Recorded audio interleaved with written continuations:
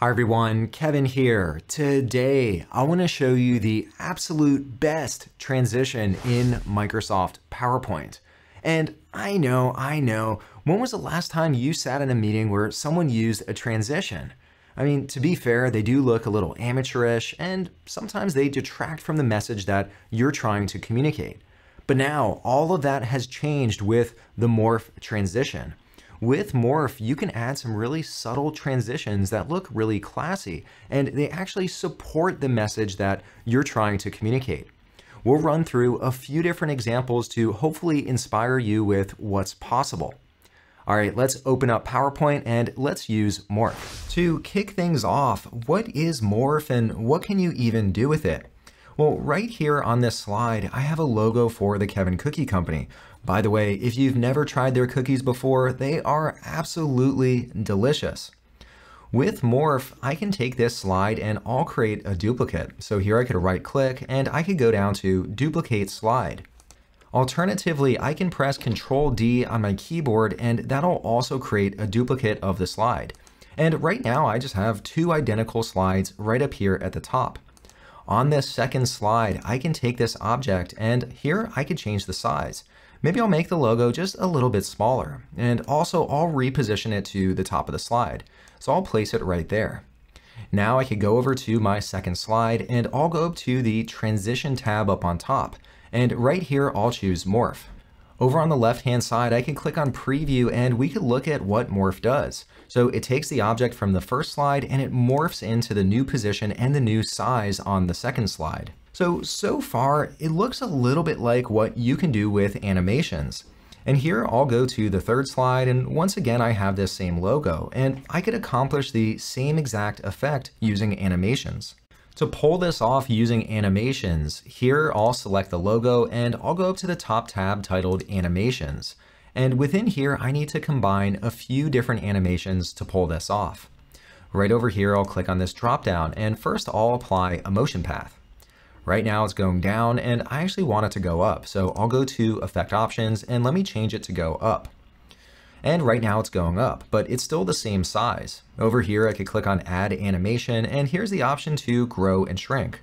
And by default, it grows and I need to change that. So right up here, I can go once again up to effect options and here I'll set it so it becomes smaller. And right over here, I'll click into the animation pane because right now both animations happen sequentially, but I want them to happen right at the same time. So I could right click on this and I'll have it start with previous. And here, if I click over on the left-hand side on the play animation icon, this will now play my animation. So it gets smaller, it moves to the new position, and I've effectively accomplished the same thing. But it required a lot more steps. Using Morph was a lot easier to set a new size and set a new position. So it's really your preference how you want to pull it off. You have both animations and Morph, but personally, I think Morph is a game changer, especially as you start introducing many different shapes to your slide and you want many different objects moving. Now that you understand the basics of how to use Morph, next I want to show you some truly fancy examples that are sure to impress your audience. If you want to follow along with this, I've included a link to this deck in the description of this video. Next, let's click into slide 4. On slide 4, I want to create a revolving showcase of Cookie Company posters. So what that means is, well, I want to have the Kevin Cookie Company featured first. Then it's going to revolve and I'll feature the Oreo poster. And then at the end, I'll have it feature Hardee's. And then we'll reset back to the beginning. So in total, we're going to have four separate views. Over on the left-hand side, I need to make sure I have four duplicates of this slide. So once again, I'll select this slide and we'll use the same shortcut key as what we used before. We'll press the control key and the D key, D is in Delta, and here I'll press it one more time, a second time, and a third time, so I have four duplicates. Now that I have my four duplicates, I'm ready to go in and start modifying these different slides. When I click into the first one, this is currently good to go. I want to feature this poster first, so there are no additional changes that I need to make. Let's jump into the next slide.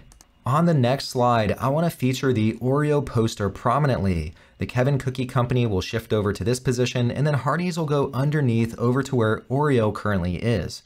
So here I'll select this object and let me move it to the front. Now that it's in front, I'll take this object and let me move it to where the Kevin Cookie Company poster is. And here I'll enlarge it so it sits on just about the same level. Next, I'll select Hardee's over here and let me right click and I'll send this to the back. And I'm gonna move Hardee's all the way over to this side right here. Next, I'll take the Kevin Cookie Company poster and let me reduce the size. And here I'll click on picture format and I'll set it to the same height as the Hardee's one and right here I'll move it over into the left position. I now need to make similar changes to the next slide, so let's click into slide number 6. On slide number 6, here I'll take Hardee's, I'll right click, and let me move this to the front. And this time Hardee's will be in front right here. I'll adjust the dimensions so it sits right here in the middle.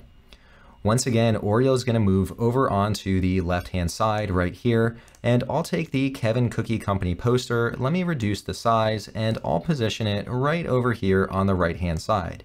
For the Kevin Cookie Company, let me right-click and I'll send this to the back. We have to make one additional change before we're ready to apply the morph transition. Let's click into slide number seven, and over here with the Oreo poster, let's right click and let's send this to the back. Now, if you're wondering, well, why am I sending certain items to the back? If we look at slide number six, we have the Oreo poster over on the left-hand side. And onto slide number seven, it shifts over to the right-hand side. And we want it to go under all of these different objects. So we want to make sure that it's in back. We've now configured everything properly. Next, we can select slides 5 through 7. Here I'll select slide 5. I'll press the Shift key and select through 7. Then let's go up to transition up on the top ribbon and over here let's select morph. Over on the left hand side here you'll see a animation icon. So this lets us know that we've now applied an animation or a transition to this slide. Let's take a look and see how it turned out. Over here, let's select slide number four, and on the bottom, we can start the slideshow from this location. All right, the moment of truth. Let's test this out. Here we're on the first slide, and then look at that revolving showcase. Here we can see the second poster, we can see the third poster, and here we go right back to the beginning. So this is a really cool way that you could transition between different slides and then focus on certain elements. Back in PowerPoint, I want to show you a few other ways that you can leverage Morph. Here, for example, I have a world map with all of the different locations of the Kevin Cookie Company. We've been expanding like crazy. Just like we've been doing all along, let's create some duplicates of this slide. Here I'll press Ctrl D and I'll press it again. And let's say that during my talk track, I want to point out that we've opened some new locations in India. Here I'll press the Control key and I'll roll my mouse wheel to zoom out. Here I'll select this image and let me zoom in on the India location. So I'll position it right in the center of this slide. Once again, I'll select slide 9, slide 10, and let me apply a morph transition. Let's now jump back into presentation mode to see what this looks like. Here in presentation mode, I could say, hey, look at all these locations we have, but we've opened some new ones right here in India. And as I continue my talk track, we could zoom out again and see the entire world. Hopefully by now you're getting some ideas of how you can use Morph, but did you know you could also use Morph with text? Here I have three different slides where we're evaluating some different slogans for the Kevin Cookie Company. Here I'll select slide number 12 and 13, and once again, let's go up to transitions and then click on Morph. Now, right now by default, let's jump into presentation mode to see what this looks like. Here you can see yummy in every bite. That's not a bad one, but it just fades out and the new one fades in. Instead, I wanna use morph for text. Let's jump back into the presentation to see how we can apply that. Back in the main view, I have morph selected, but right now it's set so the morph only applies to objects, like say this logo. With morph selected, over on the right hand side, I can select different effect options, and here you'll see it's set to objects but I can set it to words. And when I select words, it'll keep any words that are already on the slide and it'll move it to the new position. So let's preview that again. Here it says yummy in every bite and it transitions to every bite is oh so yummy. Once again, it works the best if you're keeping some of the same words. On the next slide, here I want to show you yet another way that you can transition words. If we go back to effect options, you could also have it apply to characters. And here you'll see that it keeps characters that appear in the new sentence. It doesn't move the words, instead it keeps the characters.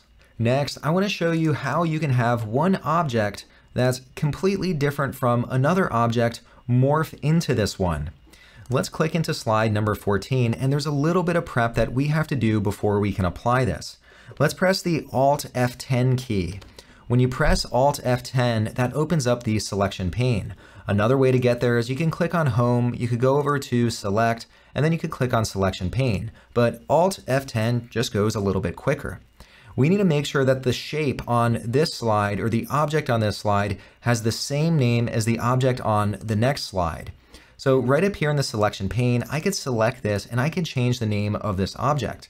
And to be able to pull this off, I need to include two exclamation marks in front. And here I'll type in logo. Next, I'll select the entire text here and I'll copy it. This way I can ensure that I'll paste the same thing onto the next selection pane. Here I'll select the next slide and I'll select the name here and let me paste in the same name. Now that both of these objects have the same name, I want to apply the morph. Over here, I'll make sure that slide number 15 is selected, and here I'll come up and select Morph.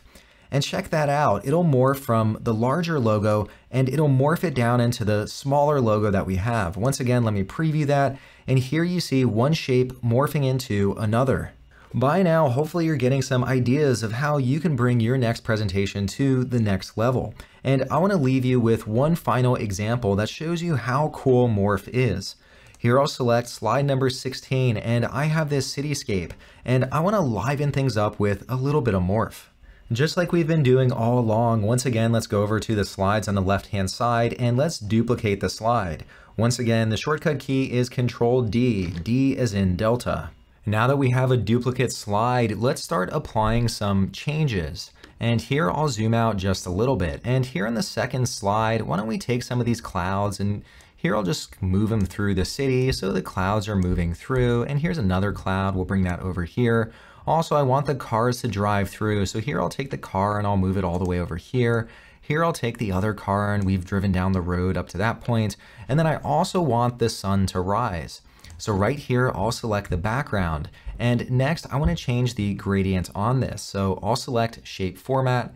Let me click on this icon down here to bring up Format Shapes. Within Format Shape, I'll select the Paint Bucket, and right down here, I can see the current color on this shape. Let me change this just a little bit and I'll add one more stop in here. I'll click on the color and let me add this orange color. That's a nice sunrise color.